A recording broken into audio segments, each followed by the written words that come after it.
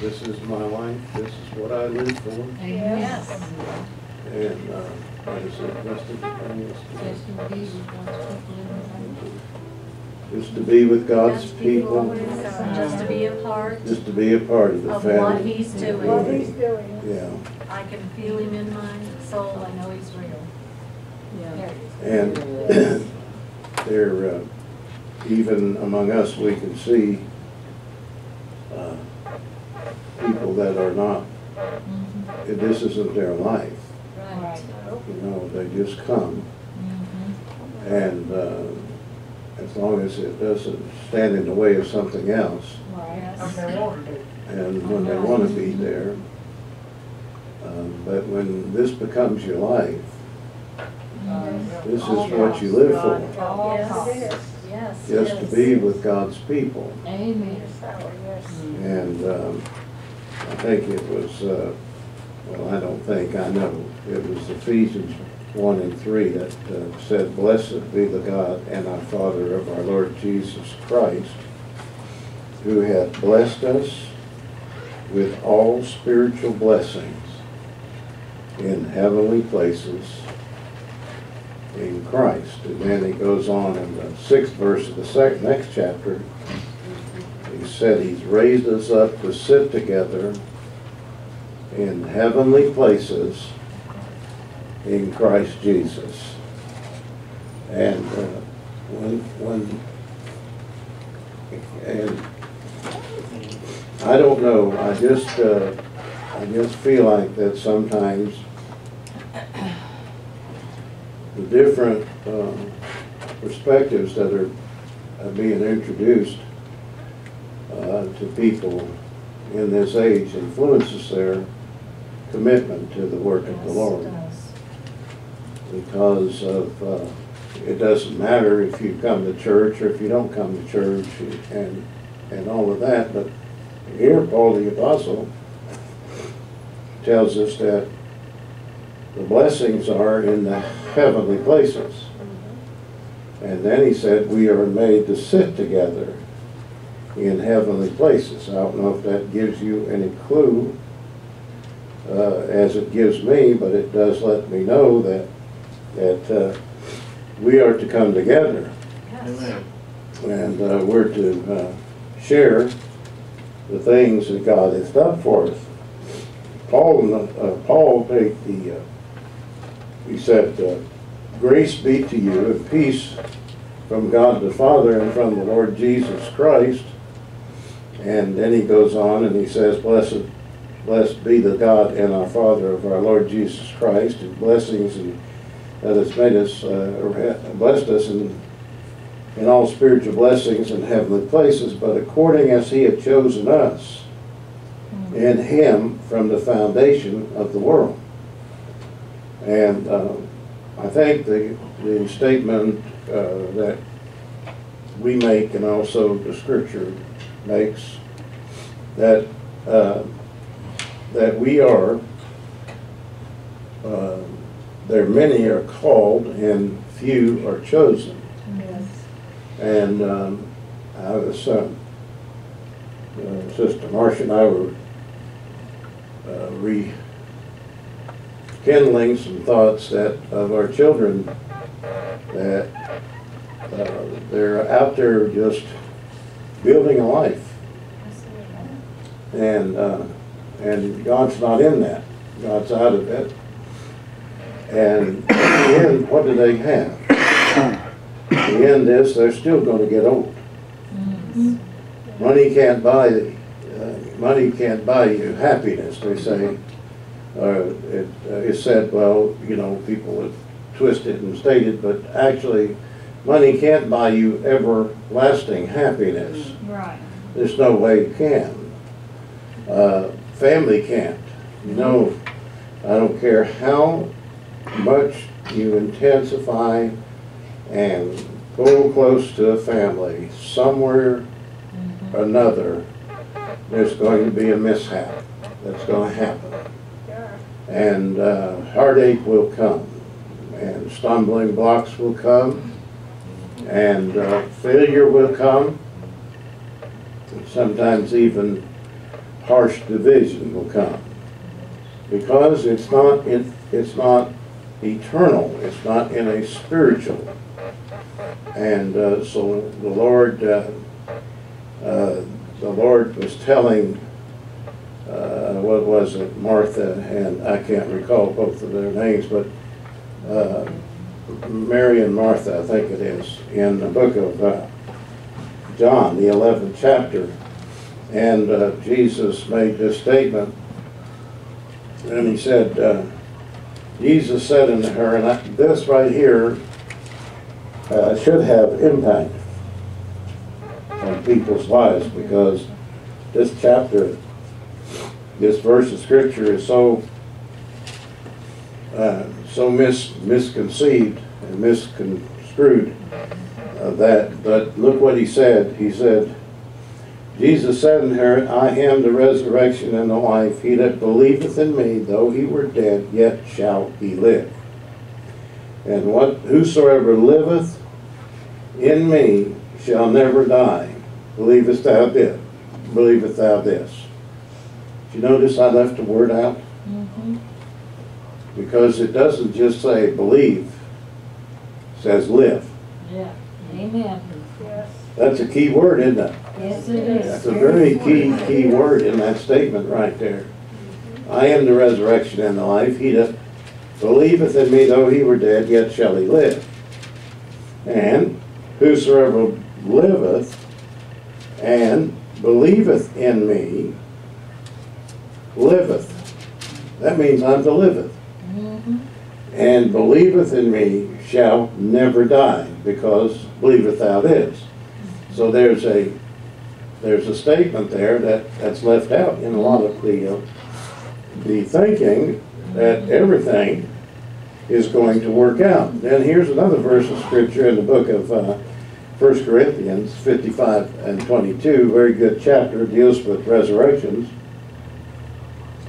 But he made a very, um, Paul made a very bodacious statement. He said, For as in Adam all die.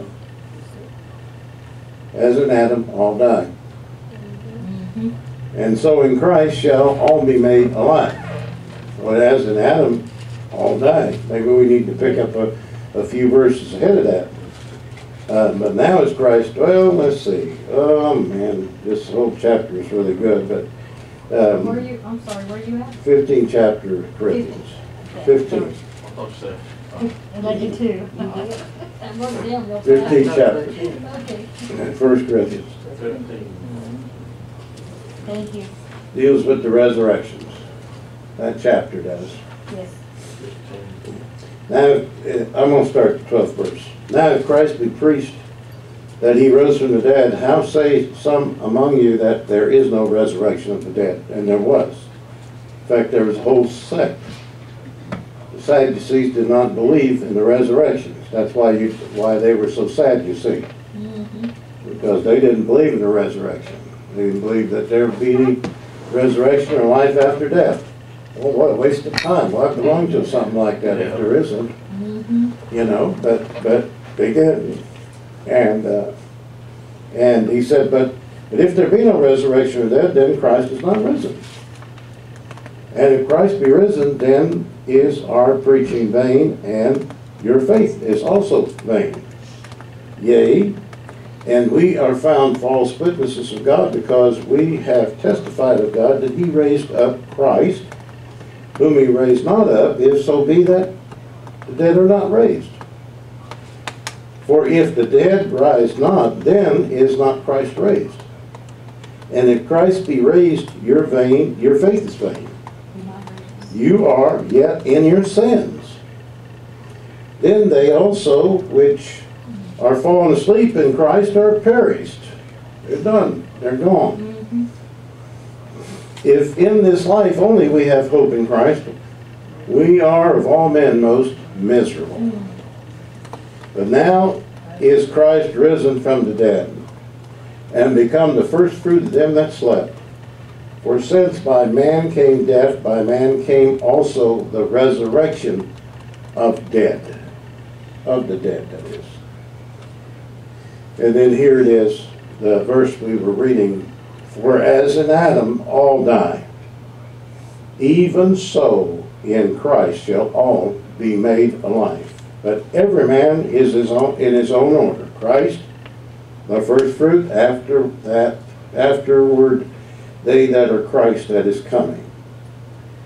So there's a, there's a, uh, there's a hope of a resurrection in, in Christ. There's a hope of eternal life in Christ. Second Timothy one and ten, but, but is now made manifest by the appearing of our Savior, Jesus Christ, who had abolished death and had brought life and immortality to, to light through the gospel. Again, that helps us to see because it, you know, we have to see. I was, I was uh, remarking to Sister Marcia, there are people who come here, they come to a service and try to tell us, they don't even have an understanding of the Word of God and tell us how to, Yes. how to conduct ourselves and how to live our lives.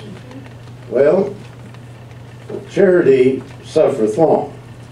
But you know, charity even has a conclusion. Yes.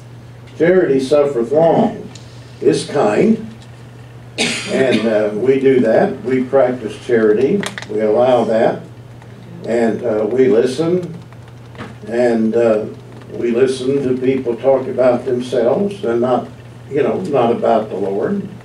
We, we extend charity, but for them to understand and to abolish li- death into uh, abolish death out of their lives, they have to come, they have to come to the light of the gospel, Yes. Because that's where immortality lies in the gospel. That's where life lies in the gospel. So for me to receive eternal life, it's not just a package deal that God just says, okay, yeah, okay, you saved me and, I mean, I'm saved and I'm, you know, I've done this and I've done that, I spoke in tongues and, yeah, I'm a good guy every now and then. I, I do do things around the church every now and then. I come in and be, you know, do, I'm in church, you know, I'm in church at least once or twice a month and I, you know, and I'm okay, and I'm gonna go on to be in the kingdom of God. You know, that's not true, because the, the life, the gospel, the light of the gospel is what this place is for, Mhm. to present a light of the gospel. Because it's the light of the gospel that brings immortality, or that brings life. And that light comes through uh, the gospel of Jesus Christ. And so, uh, in this uh, passage of scripture, uh, 2 Timothy, we find that. And then, when the gospel is totally understood, and it's, it's, uh, it's, it's, man, it's manifesting itself in my life, or your life, then this passage of scripture can be fulfilled. Again, back to the 15th chapter of 1 Corinthians, uh, we can then uh, go back to this chapter and we can read this right here and, and uh, let me, let me find a, um, well, yes, let's, let's go to the 53rd verse. For this corruptible must put on incorruption, and this mortal must put on immortality. So when this corruptible shall have put on incorruption, and this mortal shall have put on immortality, then shall be brought to pass the saying that is written, Death is swallowed up in victory. And uh, then it says, O death, where is thy sting? O grave, where is thy victory? Okay, now he goes on and tells us what the sting is. It's important to recognize what the sting is. What is the sting of death? What brings on death? Mhm. The sting of death is sin. Sin. The strength of sin is the law. Because the law shows us what sin is. And then he said, But thanks be to God, which giveth us the victory through our Lord Jesus Christ. Mhm. And again, this statement is, be- is abused out there too, because this statement is, uh, uh, is uh, drastically uh, misused because, well, thank God through, through him, he gives me life and I'm okay through him. Well, through him I am, Mhm. but he gives us the victory through our Lord Jesus Christ, but then he, he, he goes on, therefore, my beloved brethren, be you steadfast, unmovable. Amen. And see, there's, a- there's a passage of scripture, that, that unmovable shows me there's got to be a commitment in my life. Yes, it does. Amen. If I don't have a commitment, I can be moved with every tide, everything, everything goes forward. Yep. And do you know that, uh, you know, somebody says, well, you don't have the things going against you, what you, what I have. That's a bunch of baloney, you know, that, let me just say that, that's a bunch of baloney. You ought to try to pastor a church for, Oh, for the years I pastored a church. And, uh, you, you think you, you don't have things going, a pastor doesn't have things going? He's not only got to be concerned about himself, but he's got a congregation to consider. Yes, he does. And uh, when people get hurt and wounded, uh, that hurts him. That works on him. People go through a hard place, that works on him. Uh, You know, everybody thinks, well, nobody knows what I'm going through. Well, uh, walk in these shoes for a while, and you'll find that there is disappointments in life that all of us are going through, Absolutely. And all of us are facing. Yes. And uh, so, uh, uh, you know, I don't uh, quit church because I've, I'm going through something. No. Nope. I, I don't quit church because this is my, this is my life. Yes, it Amen. is. See, God has put this in my life. Lord. I stand in the work of the Lord. Yes, Amen. amen. I know there was a, a, a time when Sister Zonneveld died. Uh, that we had her funeral on Friday. Yes, And you know where I was at Friday night? in church. I was right here in church. Because this is where she would want me to be. Yes. Right. And this is where God would want me to be. Yes. Right here in the work of the Lord. Because this is the place that God has called me. Yes, He said, well, Paul said, be unmovable. that's right. You know what the term unmovable means? That means that you are nailed in. That's right. You're stayed. You're, you're, you're Yes. fixed.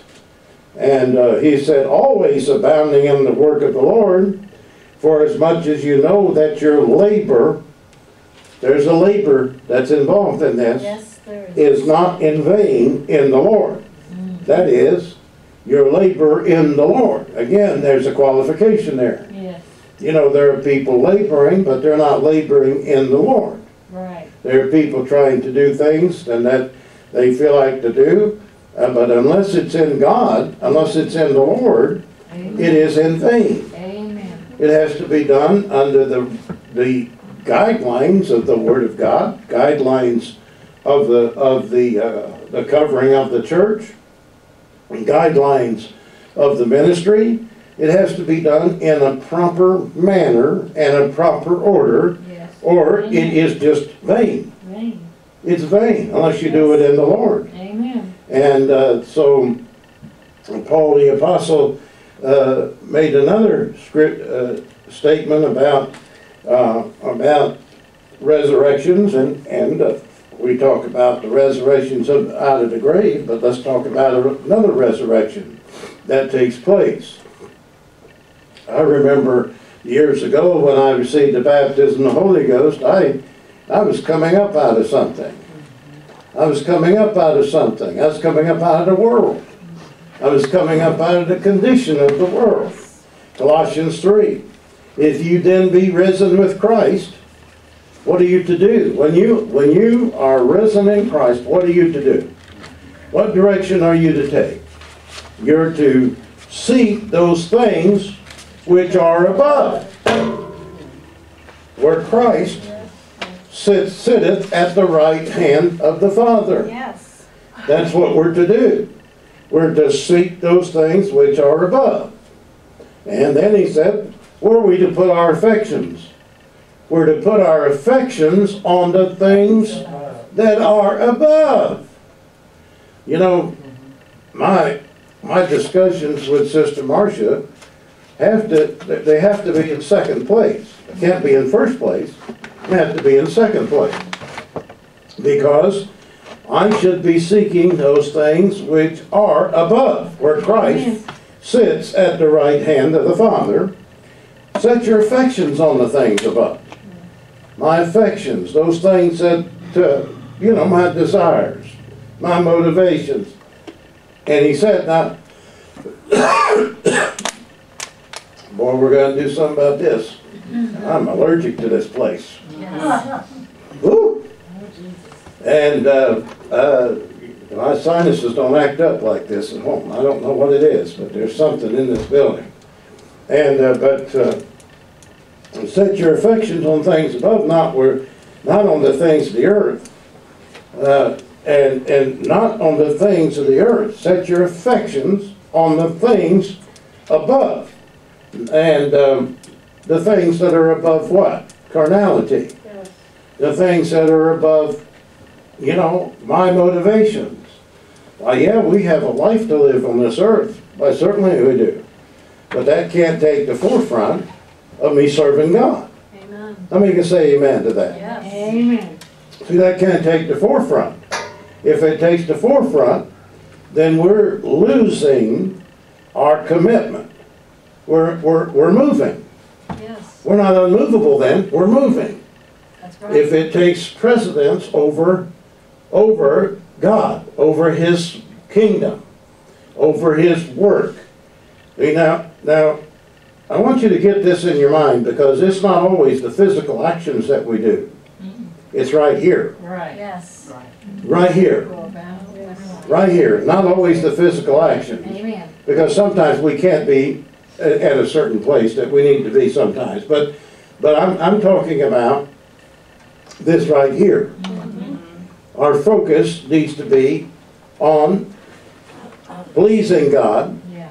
having our motives on the things that are above, mm-hmm. not the things of that, of this earth. If, if it becomes a precedence in our life for the material things, or for the, uh, you know, the, mm-hmm. the things of, that our nature, Right. you know what I'm saying? Mm-hmm. Our nature has, the affections our nature has, then we are moving. We're not standing, we're moving. We're, we're not, uh, we're not practicing unmovability, but we're practicing movability. And that, that shows that our affections need to be on the work of the Lord. Right. Our affections need to be on serving God. Amen. Now, who's first in my life?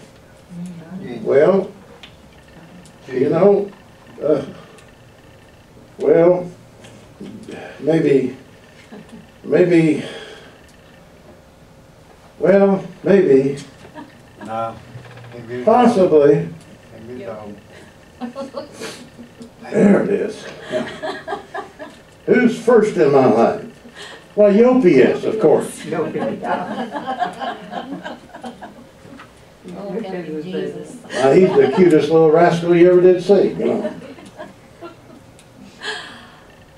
Well, he just even got cuter the other day. We took him to a groomer and she groomed him and, and uh, he looks so nice and handsome. In fact, he's got his ears where they stand up most of the time now, you know. Not all the time, but most of the time. But, see, that, that's putting my affections on the things of this earth. Amen. It's not wrong for me to love that little dog. He just started running till he got- It's not wrong. Marcia thinks it is, but it's not wrong. It's not wrong for me to have affections for that little guy, you know. If I don't see him around the house for, uh, you know, After service, yeah. a few minutes, I say, well, where's Yopi at? Where, where'd he go? Where'd he go? And, uh, and then he comes running in. Here I am, Daddy. And, uh, but it is, God has to be first. Amen. Yes. The work of the Lord has to come first in my life Amen. and in my heart. Yes.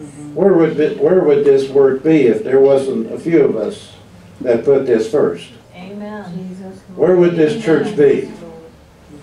Would we have the doors open? No. No.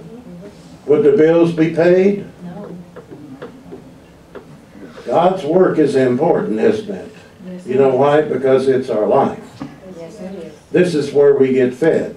This is where we receive the Word of God to help us to rise above. So, we didn't be risen with Christ, that is, if we're overcomers and we have risen above Christ, then we're to set our affections on the things above, not on the things of the earth. So you are dead, and your life is hid in Christ, or in Christ in God. When Christ, who is our life, shall appear, then shall you also appear with him in glory. So, you know, I've heard this scripture talked about two different directions, and you could apply it to different directions. Yes, this is talking about his resurrection, yes, and the resurrection that you are to uh, uh, to have, and when he appears, then we will be caught up together with him in the clouds. But let me let me just add this thought right here: when Christ, who is our life, shall appear in us, Mhm. it, he appears in us Right. then shall you also appear with him Mhm. in glory. Praise Now- God. I know there's a, there's, there's one way to look at it, there's another way, but the bona fide fact is, the, fact is, bona fide, okay, that's all right, but, but, uh, but, but the fact is, Mhm. I guess I could say bona fide, yes. And, and the fact is, the most outstanding fact is, is that, yes, if I, appe- if he appears in my life, then when he comes, I will also appear with him in glory. Yes. So if I allow my life, so then he goes on the fifth verse, he says, Mortify therefore your members which are upon the earth. Now these right here are, are the things we're to mortify, because they all generate from the flesh. And he said, Mortify therefore uh, your members which are upon the earth, fornication. This term fornication, uh, you know, I've had people try to talk about this versus script, this, this, this, uh, uh, term fornication, and I've heard him speak about it. Fornication is generally uh, premarital sex, that's what usually is taught. But fornication is any illicit sexual relationships, anything that is illicit. That could be um, premarital sex, it could be sex out of wedlock, uh, uh, it could be sex, having sex with somebody and you're married, or they're, they're married, and those things, uh, uh, which is commonly called adultery. Um, but it, anything that involves any type of sexual activity between people. Uh, it can also be addressed as uh, two, two getting together, two males and two females getting together. Uh, you know, that, uh, I don't care how much they justify it, I don't care you know, I, I'm not gonna stand on the street corner with a big sign, I don't believe in gay marriages, because you know what? It's not gonna do a bit of good. No, it's not. That's not gonna help anything. That's not gonna change anything. You know, it's not gonna change anything, because, uh, the society that we're living in is not in God, it's not in Christ. It's not living in Christ. These councilmen, uh, these uh, political people, they're not in Christ. They're not living in Christ. They're living in the world. And, you know, politically, it makes sense, you know, let them get married. They're living together anyway, you know. Uh, but it doesn't, God doesn't recognize it, and neither should the church recognize that. Now, if two, if two, uh, two of the same sex came to, came to me and asked me to marry them, I would say, no, I don't think I will. Because I don't think that would be God's will or God's order. God doesn't, you know, the Bible teaches against, Oh, yeah. against homosexuality. It doesn't approve of homosexuality. Uh, you can stay in this assembly and you can try to work out your salvation and I'm not going to drive them out the door. I'm going to try to talk to them and try to teach them and let the Lord conviction come because it, no matter how much you talk to them, if there's no conviction there, it doesn't do any good anyway. Amen. Right. Conviction is the key. But if they're sitting here, there's a chance that they could be saved. Yes, Lord. They could be hearing the gospel. But does that mean that I approve? No, of course not. Because that would be going against the word of God. And so uncleanness. An uncleanness just simply means of anything perverted. You know, uh, watching porn- pornography on television, that's uncleanness. And people do that. You know, I had a man tell me one time, he said, I have never committed adultery on my spouse. Never. And she has no right to leave me. But he failed to tell about the nights that he sat behind a, a, a computer screen watching pornography. Yeah. He watching that pornography on a TV screen. You know, the Bible, Jesus said, if a man commits adultery, uh, looks upon another woman, Looks upon him. Looks upon another woman with that spirit, Yes. with that spirit. In your heart. Yep, Not just look on a woman. Yes. yep. You know, there's a difference between just looking at a woman. I look at Sister Whitey, Yeah. but it's what the motivation is in my spirit. Mm-hmm. But if I look on this television where it is screened, Yeah. and I'm watching these two people having physical or women Yes. Dancing around nude and, and uh, doing all kinds of things, I mean, there's all kinds of things they do now on, on the internet. I am committing adultery with that person in my heart. Yes. And Jesus, Jesus made that statement and he clarified that. He said, why, he said, it's not just having physical contact with a person, it's the man looking, lusting. And that's what they were doing. They were lusting every night, almost every night, late at night. They'd be sitting behind a TV screen and, uh, and lusting. And then I had the occasion to counsel someone one time they were watching child pornography on the on the tape, which is to me is you know. That would be hard for me to deal with. I'm gonna tell you that right now. It would be very hard for me to keep my spirit under Yes. under check. And um, but just like a man bringing children into the world, and then through some way or another, they're divorced from that per- person. It- They still have an obligation to that child. Yes. They're to pay child support to some way. They're not to be robbed until they can't live any longer, Right. but they're to pay, contribute to that child. And, um, and if the mother doesn't feel like they're contributing too much, then turn the child over to them. You know, then, then let that child be with the, with the, the other parent that's not paying the child, that is paying the child support. Uh, but, but, uh, uh, the, uh, Sister Lottie, you had your hand up before I I was wondering if you saw the insert that was in the paper this past week. We, I saw it down at Sister Jen's house. It had like, there's probably forty or fifty sexual offenders in Highlands County. Mm-hmm. And it showed them their faces, what they'd done, and how old they were, what kind of person they were with, and where they mm-hmm. lived. Mm-hmm. It was a, it was a Yeah, big pictures of everybody. Yeah.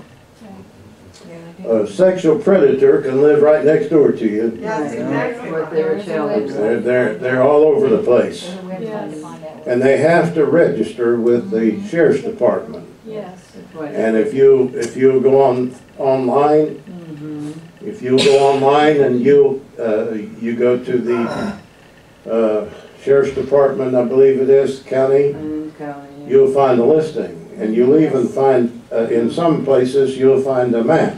You can put yourself on the map Yes. where you live, and it'll show you. You'll be surprised. Red dots. You'll be surprised how many are out there that, that are, uh, living close by, close by. Sometimes it'll be people you don't even know. You'll be having a conversation with them. You won't even suspect it. That's why if I had small children, I would, I would, Have to keep a I would look, Absolutely. I would find out where these guys are at in my neighborhood, Oh, yeah. because there's some in my neighborhood. Yes. Yeah. And, uh, and I would be very cautious in, uh, my children associating. Sometimes, uh, it it is, we're just living in a terrible, mixed-up society Here today. And, uh, it's going to get worse. It's Gonna get worse. Yes, it is. Uncleanness, inordinate affections, that's desires that are out of, out of, uh, you know, out of, uh, you know, out of, you know, out of God's order. Evil concupiscence, that means that, that is an overly craving and desire to have something somebody else has. Okay. That's what that is. You have the desire, you have a, a desire to be. Covetousness, that's, that's, that's also, uh, in the category of, uh, wanting something that doesn't belong to you. You know, you can have a- such a desire driving you that you desire something another person has. That even happens in the church, you know that? Yes, it does. A desire that has a position that a person has, that they develop a hatred for that person. And then they start spreading all kinds of rumors about that person. I've had that happen to me in this city. Just, just all kinds of rumors because that individual could not ha, did, could not have their way in this assembly. And so they start spreading all kinds of rumors. And uh, rumors that even today sometimes uh, I, it comes back and I hear about it. Uh, but that is because they had a desire and they could not get that desire fulfilled. So they had to strike out at the person that put the block there and put the stop there. And so, uh, and then idolatry. And idolatry, somebody said, I don't do idolatry. I don't. I don't do idolatry at all. I don't have an image. I don't have something that I worship. Well, idolatry can be in many forms right now. Idolatry can be I just have a certain, I have a certain like for something and I'm gonna live, I'm gonna center around that and that's the way it's going to be. Mm-hmm. That can become my idol. You know, it's like, there's somebody here in this assembly that used to love Elvis Presley to death. I know, because I was at their house, and there's a shrine all over the place. Not giving any, I'm not giving anything away, you know. Not gonna name any names. But Elvis Presley, oh my goodness. I mean, Elvis, whoop, Lots of, Lots of them. Lots of. Yes. You know, well, that can become an idol. Yes. I can idolize that. Now they didn't do that, but they they didn't do that. They didn't miss church for Elvis. No, they didn't miss church. That's what we understand. But but it come first, you know. I mean, eh, I mean, if the idol comes first in your life. My sister stayed blind 16 hours the night it snowed in Florida for us to get tickets. oh, you gave yourself away.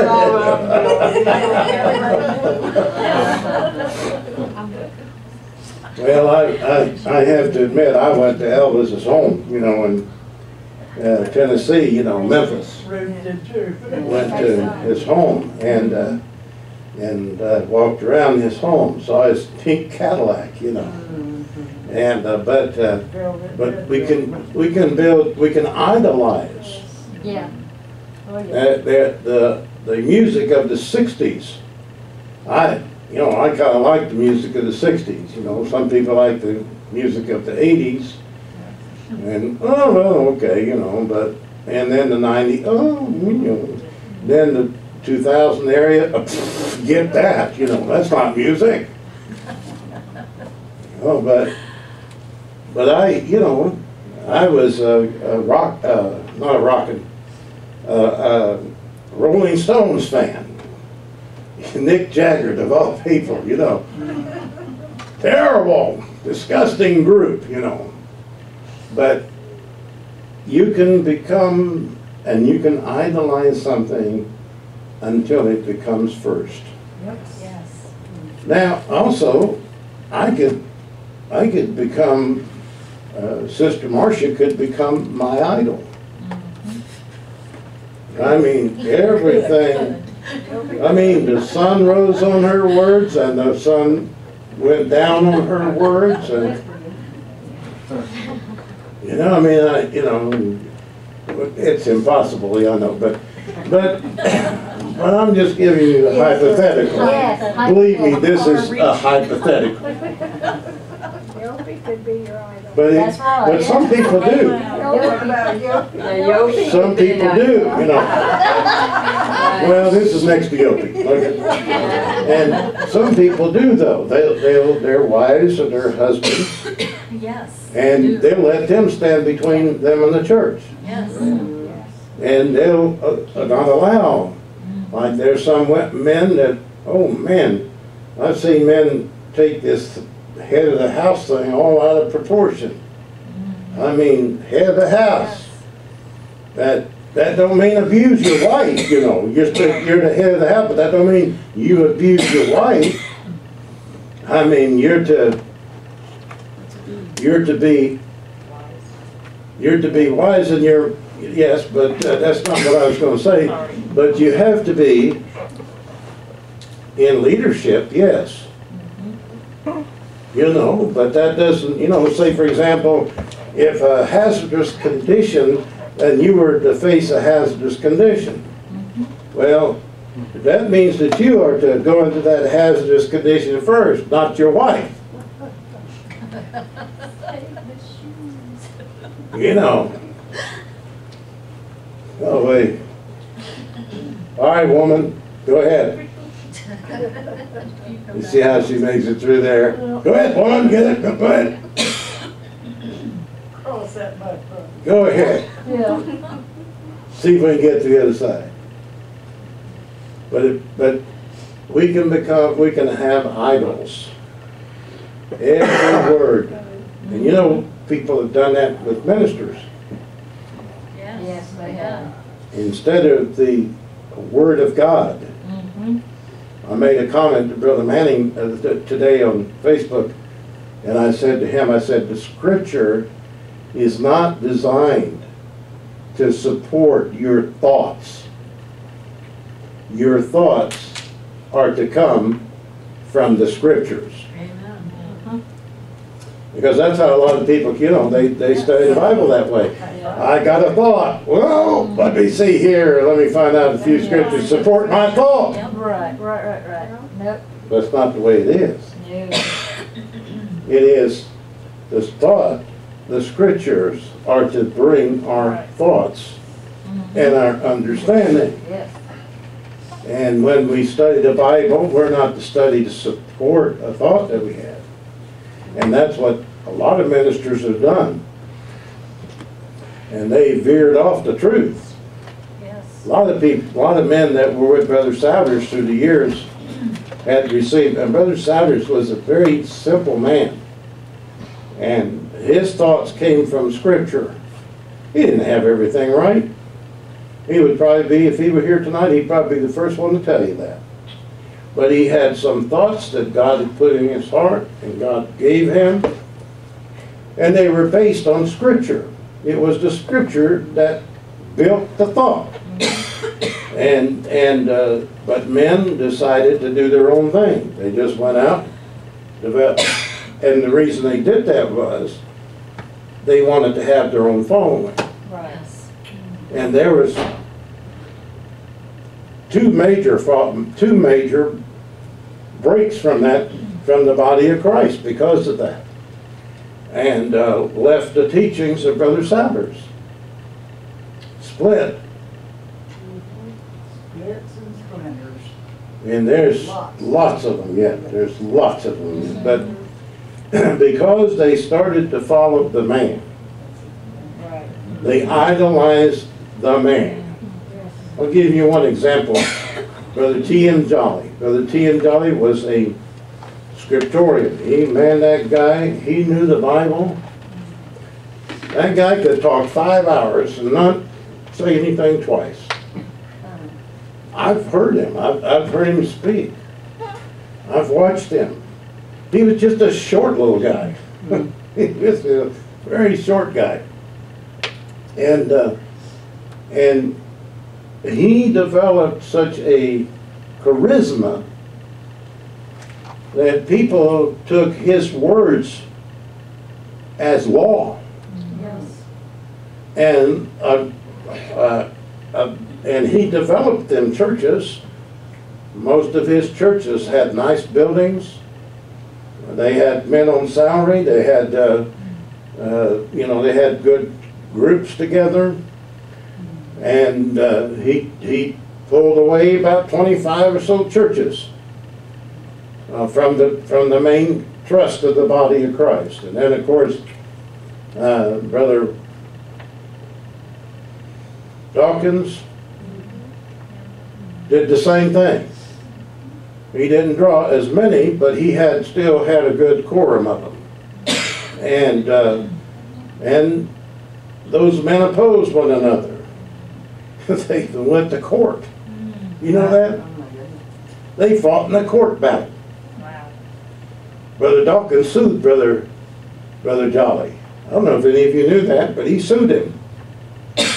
And uh, the judge made Brother Jolly uh, pay a specific amount, and he was to send a reel-to-reel tape to each one of the preachers, and uh, to you know to try to correct the situation between them of the things he had said.